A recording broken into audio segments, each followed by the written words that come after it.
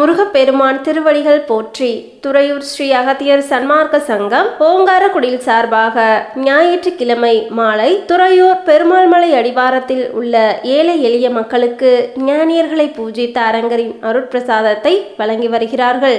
ஐந்து ஆறு இரண்டாயிரத்தி இருபத்தி இரண்டு ஞாயிற்றுக்கிழமை அன்று துறையூர் பெருமாள் மலை அடிவாரத்தில் கிராம அன்னதான ஒருங்கிணைப்பாளர் திரு சரவணன் அவர்கள் தலைமையில் குடில் அன்பர்கள் அன்னதானம் செய்தனர். இன்றைய அன்னதானத்தினை திருமதி ரத்னா தேவி திரு தமிழ் மன்னன் திருமதி செல்வராணி திரு விக்னேஷ் பவன் பார்வதி திரு மாரிமுத்து ஆகியோர்கள் கலந்து கொண்டு அன்னதானத்தினை வழங்கினார்கள். உடன் திரு பூபதி திரு ஆனை மாணிக்கம் திரு சக்தி திரு முத்துக்குமார் திரு சுப்பிரமணி மலேசியா திரு சட்டைநாதன் திரு கணேஷ் திரு கண்ணன் திரு பெல் முருகானந்தம் திரு செல்லதுரை ஆகியோர்கள் கலந்து கொண்டு இன்றைய அன்னதானத்தினை வழங்கினார்கள். ஐந்து ஆறு இரண்டாயிரத்தி இருபத்தி இரண்டு ஞாயிற்றுக்கிழமை மாலை சுமார் ஐநூறுக்கும் மேற்பட்ட ஏழை எளிய மக்களுக்கு தக்காளி சாதம் மிக்சர் மிட்டாய் குடிநீர் ஆகியவை சிறப்பாக வழங்கப்பட்டது. ஞானியர்களை பூஜித்த அரங்கரின் அருட்பிரசாதத்தினை சிறுவர் சிறுமியர்கள்